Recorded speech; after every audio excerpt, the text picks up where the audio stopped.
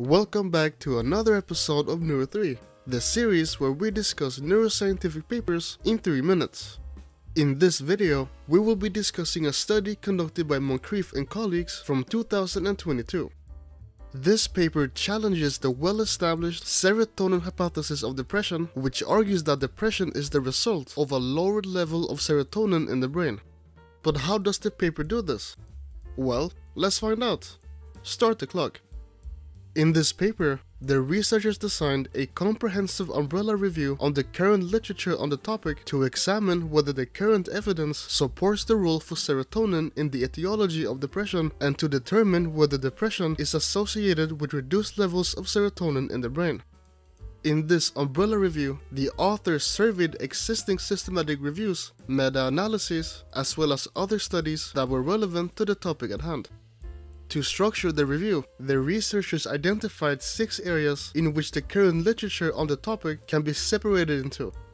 These areas focus on various aspects of the serotonin hypothesis of depression, such as on serotonin itself, but also on the availability of serotonin receptors as well as serotonin transporters, or SERT, in the brain.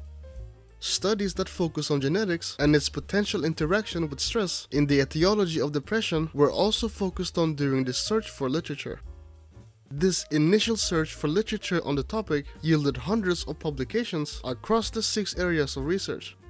However, after the selection process that was based on the author's inclusion criteria, only 17 studies remained.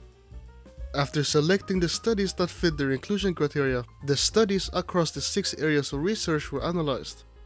Although the results are a bit mixed, the majority of the findings seems to be in opposition to the serotonin hypothesis of depression. For example, of the studies that focused on the availability of serotonin in the brain among depressed people as compared to controls, the three meta-analyses that were included in this review found no evidence of a significant association between serotonin and depression. The authors also did not find much evidence for the levels of the 5-HT1A receptor being higher among depressed people as compared to controls.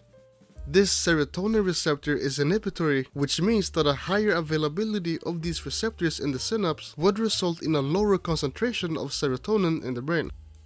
Based on the results of this paper, the authors concluded that there is no convincing evidence that depression is associated with or caused by lower levels of serotonin concentration or activity in the body.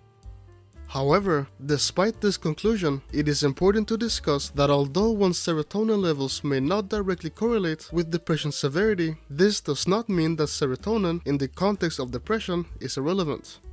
Depression is a complex disorder with various subtypes, and there are many neurological processes that are involved. Effective antidepressant medication, such as SSRIs, specifically target the reuptake of serotonin, which suggests at the very least that serotonin plays an important role. Stop the clock. That's it. We hope you enjoyed this video, and if you did, you can let us know in the comment section below or by dropping us a like.